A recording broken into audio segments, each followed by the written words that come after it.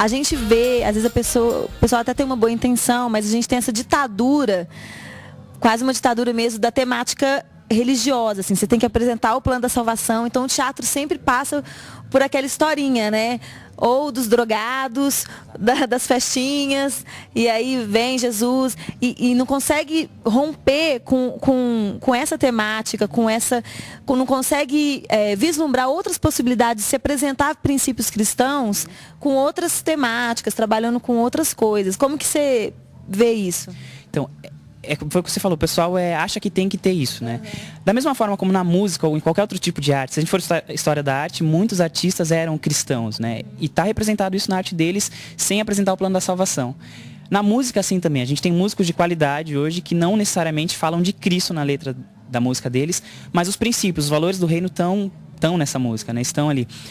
E no teatro eu acho que a gente tem que buscar isso mais, porque infelizmente eu já tenho tem algumas cenas que eu faço que não falam de Cristo, não falam da salvação. Mas o que eu busquei fazer, o valor que eu busquei colocar, são os valores que eu, que eu aprendi desde pequeno, que eu aprendi na igreja. Eu acho que a gente tem que separar o que é feito para evangelismo e o que é feito como arte em si, né? Eu acho que os valores do reino têm que estar na arte.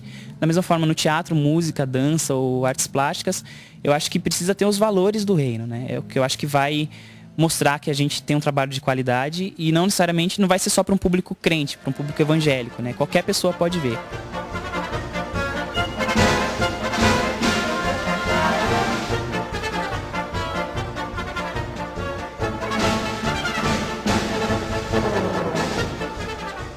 Hoje você está numa companhia, é, queria que você falasse um pouquinho sobre ela, que é teatro e circo, né? Que é um, é, o circo também é uma arte que tem crescido. Uhum né? Não sei de, se da melhor forma, mas tem crescido na igreja. Eu queria que você contasse dessa sua experiência com essa companhia agora. É, é um, é uma parceria recente que eu tenho, né? Acho que eu estou com a companhia há seis meses. E eu conheci o Nico, que é meu parceiro, o Nico Serrano, num trabalho. E a gente se encontrou por um acaso, dividimos o mesmo quarto no evento e você é de São Paulo, ah, eu também sou, poxa, o que, que você trabalha? Ah, eu trabalho com palhaço. Eu falei, poxa, bacana.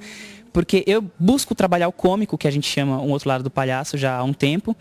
E com a companhia, é uma companhia de palhaço, né? A ideia é trazer as gagas tradicionais do circo à tona e, e reviver isso. E a companhia, a linguagem da companhia é basicamente o palhaço, o palhaço tradicional de circo, que os doutores da alegria vieram com outro tipo de palhaço, mais voltado para o hospital, com a mesma base do circo, mas por um outro lado deixou um pouco de lado esse palhaço circense, o palhaço que vem que não tem medo de nada, que faz as. É. E a, a, linguagem da companhia é essa, é o palhaço em várias situações, e a nossa ideia tem sido resgatar as gagas tradicionais de circo, as esquetes que eram usadas antigamente. A nossa ideia é reviver isso e mostrar que o circo ainda está vivo, né?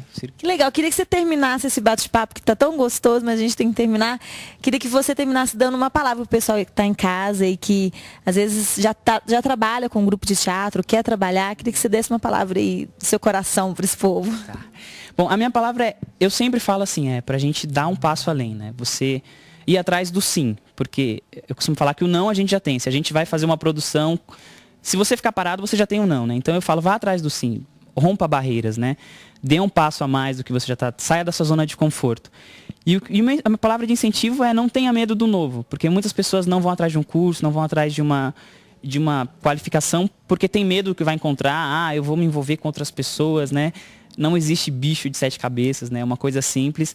E a minha palavra é não tenha medo do novo, assim. Dê um passo a mais, dê um passo além, que com certeza Deus vai ver o seu esforço e, e o seu esforço também vai te levar para um lugar melhor de onde você está. Wesley, muito obrigada pela sua participação. Fiquei muito feliz com o nosso papo.